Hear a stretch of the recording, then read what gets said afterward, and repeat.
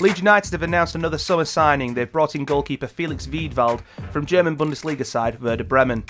Wiedwald follows the arrivals of Mateusz Klich and Hadi Sacko, along with Madger Gomes, who has joined the under-23s. The 27-year-old joins the Whites on a three-year deal for an undisclosed fee, and now provides competition for the current goalkeeping setup, which features Rob Green, Marco Silvestri, and the academy product Bailey Peacock Farrell, all three of which are contracted to United until 2018. Rob Green was first choice last season for Gary Monk's side, featuring in all 46 championship games, while Silvestri was restricted to just six appearances in cup competitions. Here's a quick recap of Wiedwald's career so far. Following coming through the youth academy of Werder Bremen, he became the first choice keeper for their reserve side. Then in 2011 he joined Bundesliga 2 side Duisburg, where he spent two years.